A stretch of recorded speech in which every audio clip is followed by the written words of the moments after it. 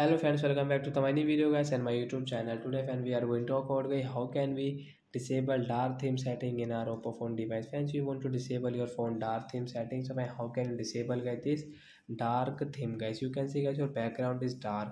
Everything is dark in your phone. So how can you disable this setting today? I will show you in this video guys. So before starting video friends first of all go and subscribe the channel guys. Click the bell icon and like the video. So friends now let's see how can we disable dark theme first of all guys we will on our phone setting guys. After on phone setting guys we will tap here. This search this dark.